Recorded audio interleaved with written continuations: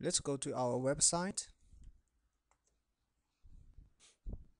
Then on the left hand side we choose photos and videos. Then we click West One TV so there is only one TV video there. Today we are going to add another video. Let's go back to the CMS inside tree structure unfold photo and videos. Then West One TV as you can see this is the one we add in the website. So right click create. Then we choose the document type video. Then we give the name to this video. Add a new video then click create.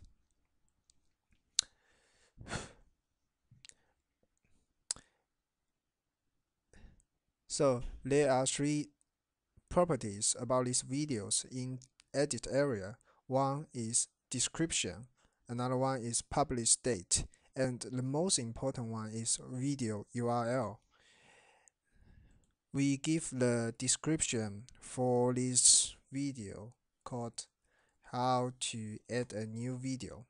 Then we leave the publish date empty so that when you click save and publish the video is going to publish immediately on the website.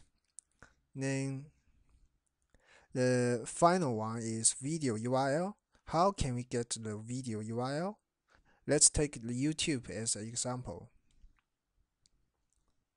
Then I'm going to pick the some video. Then and just stop for a while. Um, as you can see this is the URL we are going to pick right click and click copy then let's go back to CMS right click then paste.